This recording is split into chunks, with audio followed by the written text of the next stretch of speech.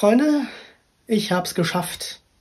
Ich habe meinen ersten Unfall hier in der Werkstatt mit einer Maschine hinter mir. Mein Finger ist heute Morgen in die Abrichte geraten. Und ich finde, das Ganze ist sehr glimpflich ausgegangen. Da hätte deutlich mehr passieren können. Keine Angst, in diesem Video gibt's jetzt keine Bilder von einer halb abgerissenen Fingerkuppe, obwohl genau das passiert ist. Und was genau passiert ist, davon will ich euch in diesem Video mal kurz berichten.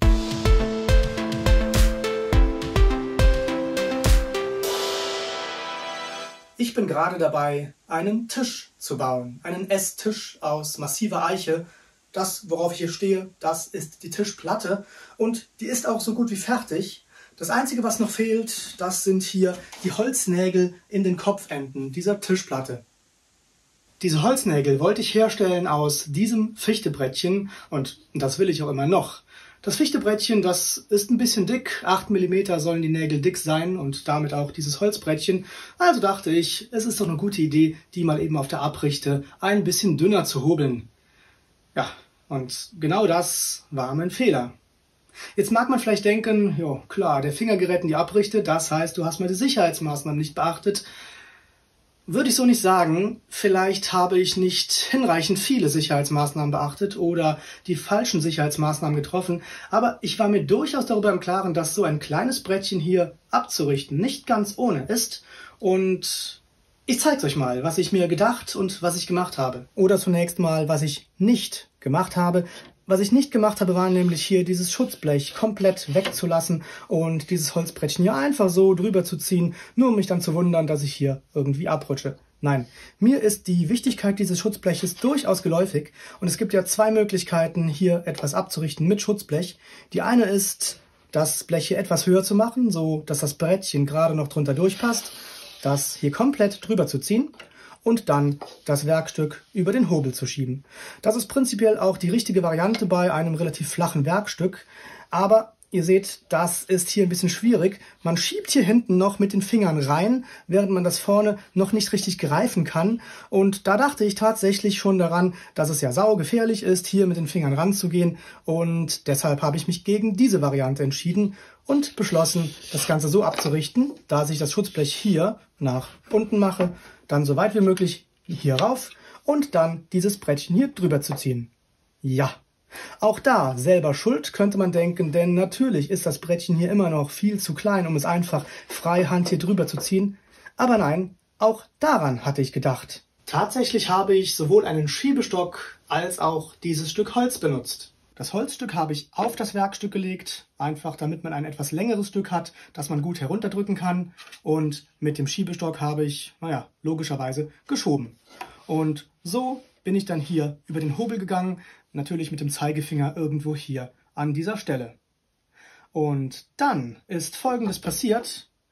Das Werkstück, das muss irgendwo, ja, hier sieht man noch die Spuren, muss irgendwo beim Hobeln eingehakt sein. Vielleicht an dieser Stelle, also ich war schon weitestgehend drüber.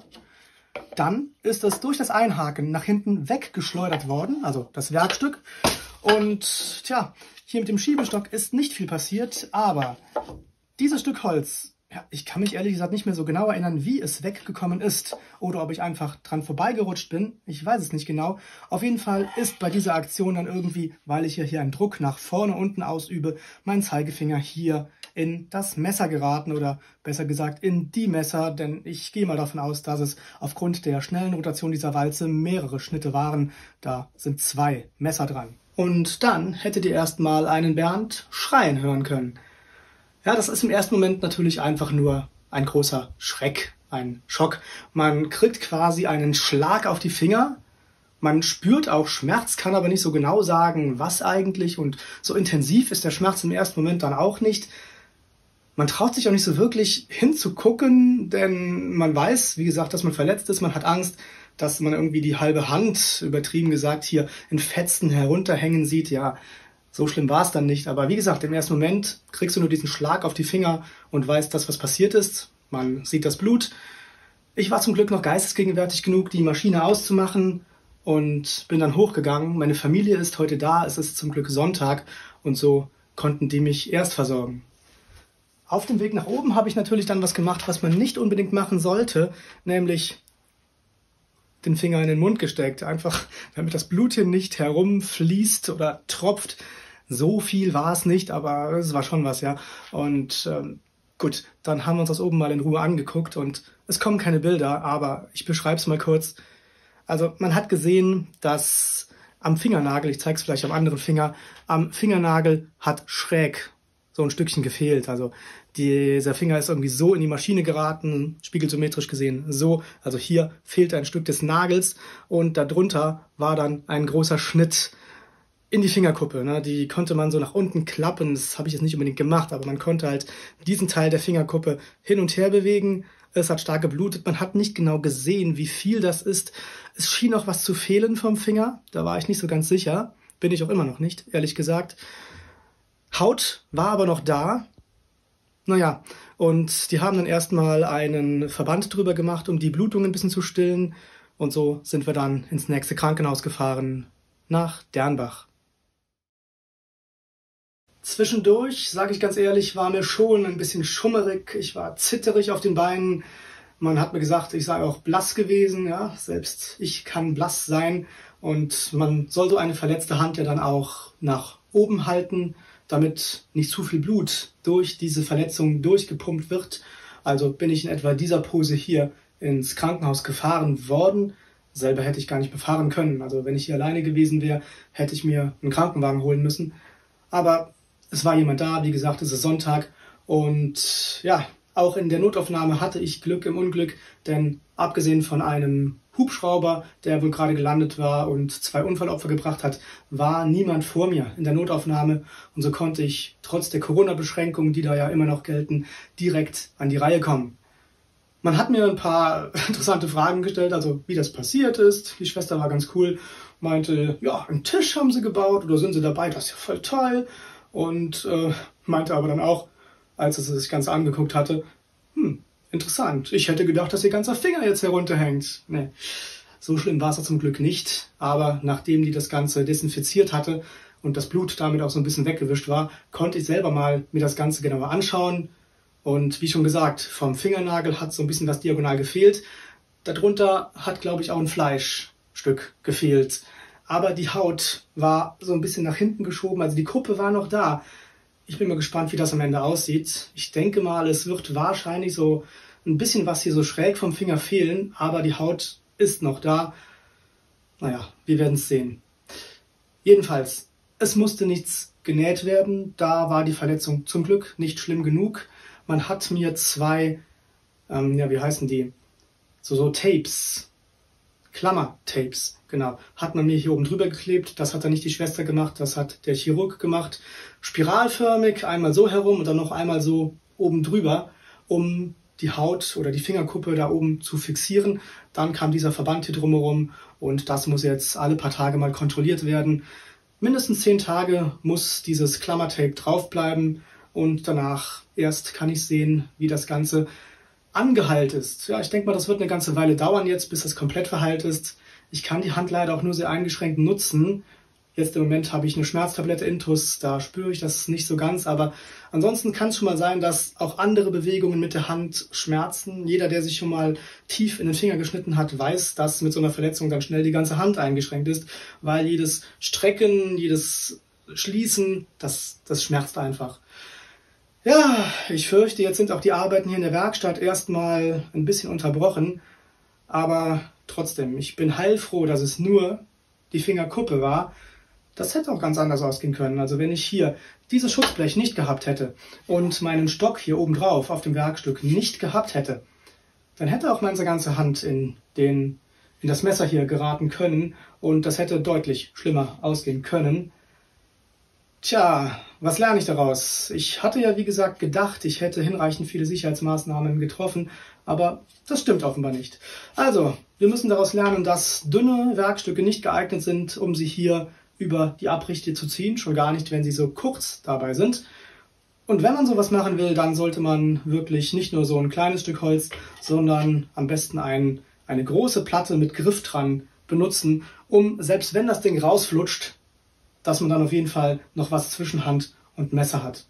Der Satzbau jetzt war nicht so ganz korrekt abgeschlossen. Ach, sei es drum. Das kommt trotzdem in den Film hinein. Tja, liebe Leute, das war mein Sonntag. Sowas kann einem den Tag versauen, aber es ist besser. Das Projekt hier ist jetzt ein bisschen unterbrochen, als dass meine Werkstatttätigkeit für alle Zeiten unterbrochen ist, weil die Hand komplett im, naja, im Arsch wäre. So gesehen, Glück im Unglück.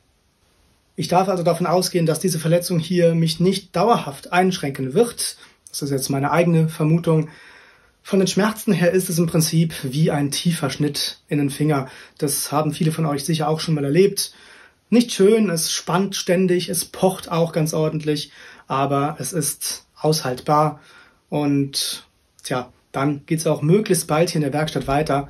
Das ist es kein Grund für mich, auch die Abrichte hier nicht mehr zu benutzen, aber es ist ein Grund, nochmal über die Sicherheitsmaßnahmen nachzudenken, ich habe welche getroffen, wie ihr gesehen habt, aber offenbar nicht gut genug. Immerhin, ich trage schon lange keine Handschuhe mehr bei rotierenden Werkzeugen. Hätte ich einen Handschuh angehabt, ja, dann hätte es vielleicht auch den Handschuh reingezogen und dann, dann wäre ebenfalls Schlimmeres passiert.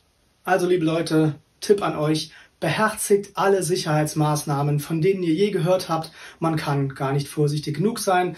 Auch wenn man denkt, man wäre vorsichtig, offenbar ist man es doch nicht immer. Vor Unfällen ist man nicht ganz geschützt, trotz aller Maßnahmen, aber man kann versuchen, das Verletzungsrisiko zu minimieren, wenn dann was passiert. Ich denke, das Minimieren des Verletzungsrisikos ist mir hier tatsächlich gelungen. Wie gesagt, es hätte auch sein können, dass die ganze Hand hier hineingeraten wäre. Stellt euch mal vor, ich hätte jetzt hier dieses Schutzblech komplett weggelassen. Ich hätte komplett auf Schiebestock und dieses Andrückholz verzichtet. Ich hätte vielleicht noch Handschuhe dabei angehabt. Halleluja. Also dann hätte ich vielleicht meine linke Hand hier nie wieder benutzen können. Und ich sag's nochmal, ich hatte wirklich großes Glück im Unglück. Glaube ich zumindest. Ah, jetzt tut's schon wieder weh. Ja, ich fuchtle zu viel mit dem Finger hier herum. Na gut. So. Jetzt schreibt mir gerne eure Anmerkungen in die Kommentare, wie doof ich mich verhalten habe, eure Tipps, wie ich das in Zukunft besser machen kann. Und ich danke euch, dass ihr euch dieses kurze Video hier angeschaut und mir beim Jammern zugeschaut habt. Ich wünsche euch, dass ihr von solchen Verletzungen oder noch schlimmeren verschont bleibt. Ich wünsche euch alles Gute. Bis zum nächsten Mal. Gehabt euch wohl.